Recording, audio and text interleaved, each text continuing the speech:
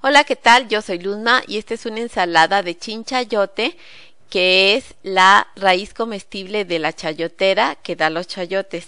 Van a ver qué fácil se prepara y qué deliciosa y nutritiva es. Aquí está la lista de los ingredientes, le pueden dar pausa para verla con detenimiento y luego seguir con la receta. Vamos a cocer el chinchayote en agua con sal y lo vamos a escurrir.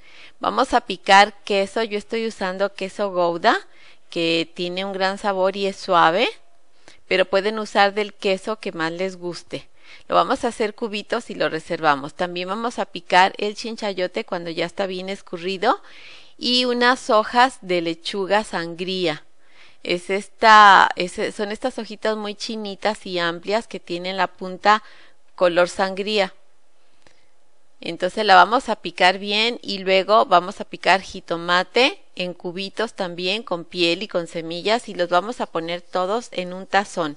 Chinchayote, el quesito eh, separado, la lechuga, el jitomate. Vamos a espolvorear un poco de mejorana o orégano seco, pimienta negra molida al gusto, sal de mar molida al gusto también y el jugo de medio limón si es grande y si es muy chico pues le vamos a poner eh, un limón completo y vamos a agregar una cucharada sopera de aceite de oliva.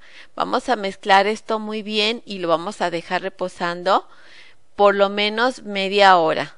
Si lo hacen la víspera, es decir, el día anterior, les va a quedar mejor. Entre más reposadito, más rico. El tiempo de reposo puede ser afuera del refrigerador o dentro del refrigerador. Nada más lo único que varía es la temperatura.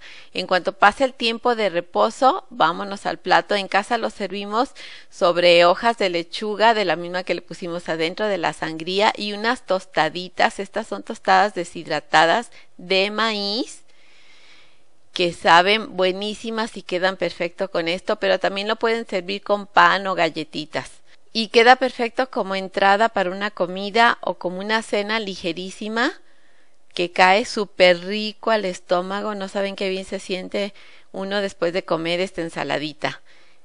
Y bueno, espero que les haya gustado la receta de hoy. Si es así, regálenos un me gusta, déjenos sus comentarios. Si no están suscritos al canal, suscríbanse. Ahora mismo lo pueden hacer. Solo le dan clic al logo de recetas de Luzma que va a aparecer en este momento. Y les dejamos otras recetas de chinchayote también deliciosas. Un abrazo. Bye.